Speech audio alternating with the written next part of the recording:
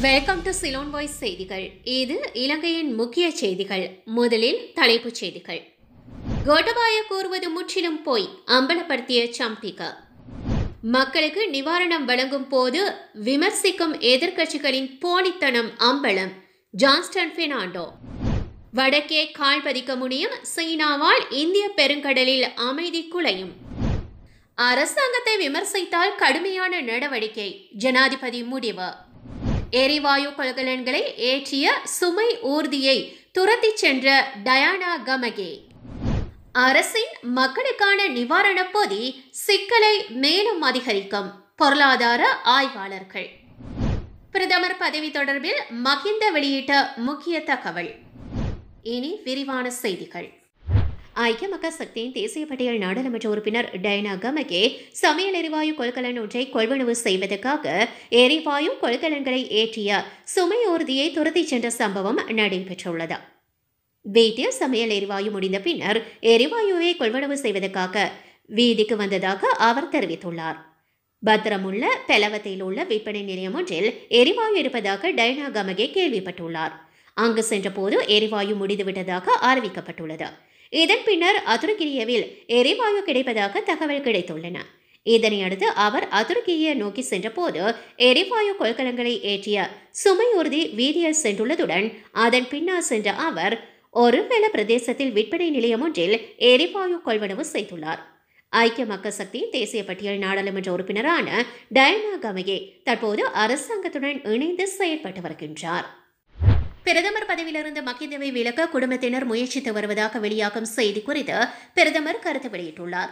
இரண்டாயிரத்து பதினைந்தாம் ஆண்டு நாங்கள் தோல்வியடைந்த போது சமல் ராஜபக்ஷ பிரதமராக பதவியேற்பார் என்றும் எங்களை அரசியலிலிருந்து நீக்குவார் என்றும் வதந்தி பரவியது.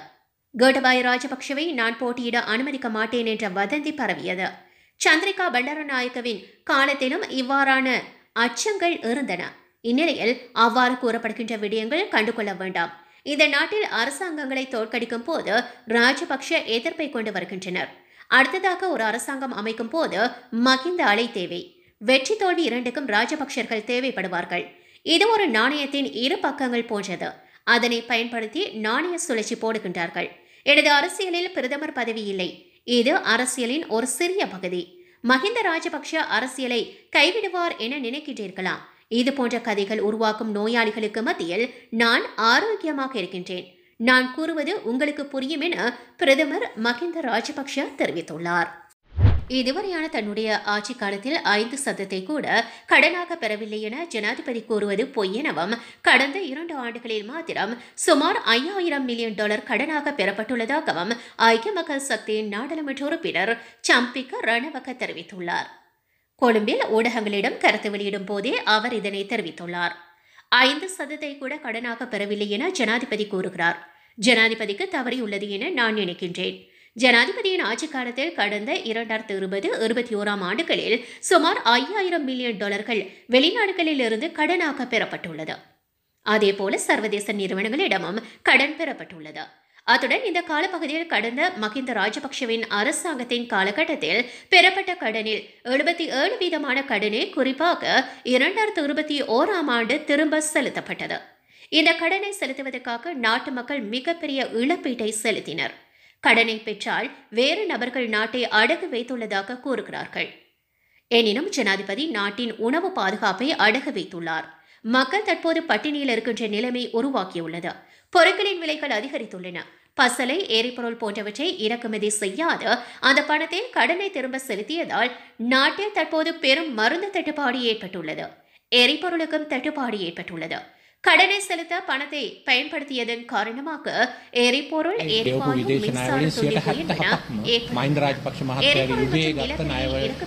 பணம் இல்லை என்பதே இதற்கு காரணம். நாட்டின் மருந்து பாதுகாப்பு எரிசக்தி பாதுகாப்பு ஆகிய மூன்றையும் அடுத்து வைத்தே கடந்த காலத்தில் கடுமையான தவிர கடந்த ஒரு காலத்தில் ஐயாயிரம் டாலர்களை மத்திய வங்கியின் ஆளுநர் கடனாக பெற்றுள்ளார் இரண்டாயிரத்தி இருபது இருபத்தி ஓராம் ஆண்டுகளில் இந்த கடன் பெறப்பட்டுள்ளது எனவும்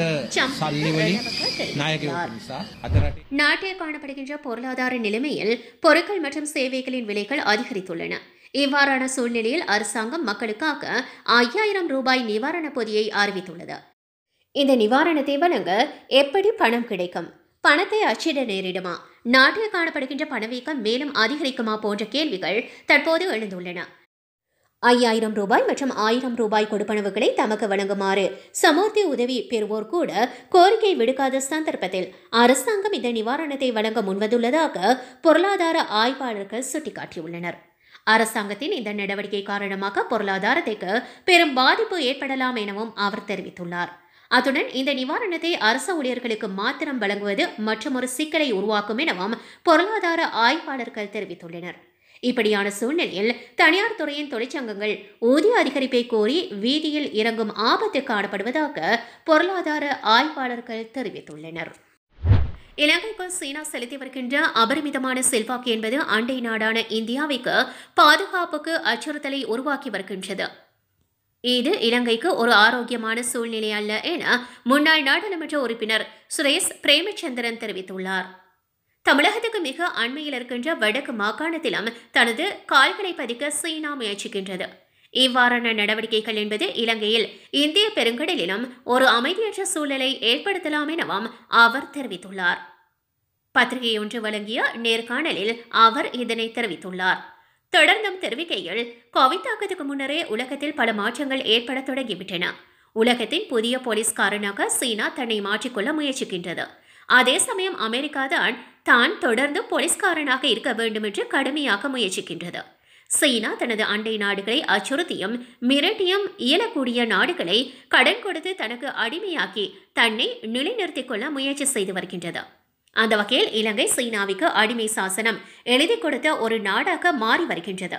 இலங்கைக்குள் சீனா செலுத்தி வருகின்ற அபரிமிதமான செல்வாக்கு என்பது அண்டை நாடான இந்தியாவுக்கு பாதுகாப்பு அச்சுறுத்தல்களை உருவாக்கி வருகின்றது.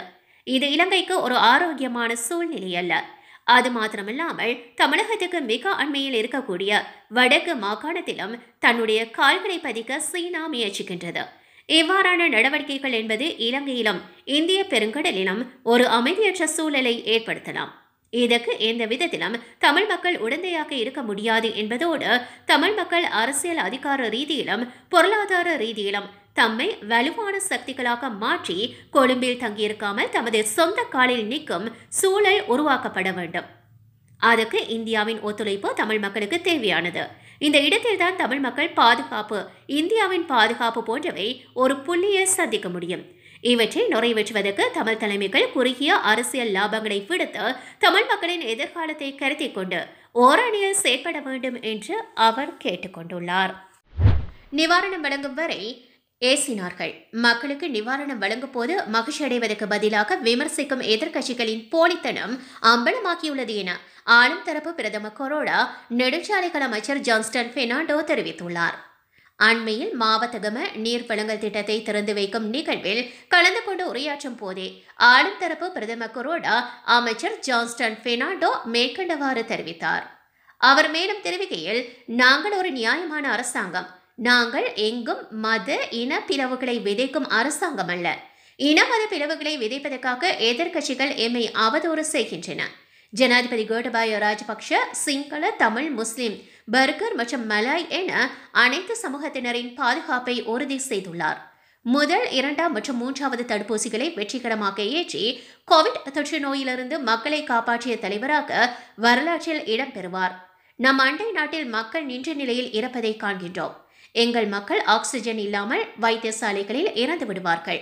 படுக்கைகள் இல்லாமல் மக்கள் இறந்து விடுவார்கள். மேலும் கோவிட் தொற்று நோய் காரணமாக இலங்கையில் சுமார் இரண்டு லட்சம் மக்கள் மரணிப்பார்கள் என்று எங்கள் எதிர்க்கட்சி கணித்து கூறியது.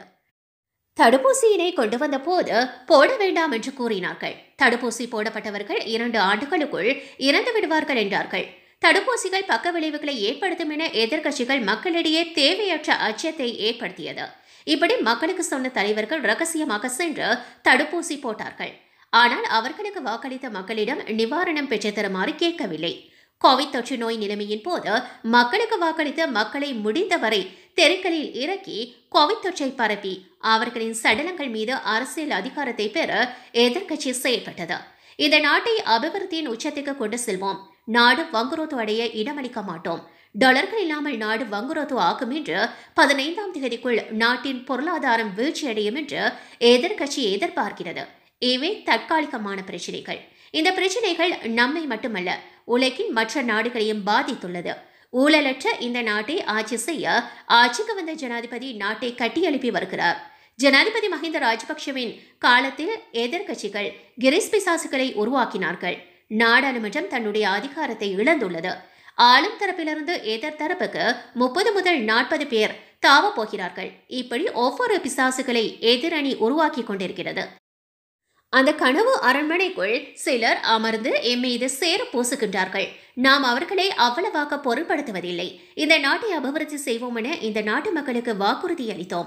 அந்த வாக்குறுதியை நாங்கள் காப்பாற்றுகின்றோம். உலகம் முழுவதையும் பாதித்த கோவிட் தொற்று நோயை வெற்றிகரமாக கட்டுப்படுத்தினோம். வெற்றிகரமான தடுப்பூசிகள் மூலம் நாம் உலகின் மிகவும் சக்தி வாய்ந்த நாடுகளை விட முன்னணியில் இருக்கின்றோம். தயக்கத்துடன் எரிபொருள் விலையை அதிகரிக்க வேண்டியதாயிற்று.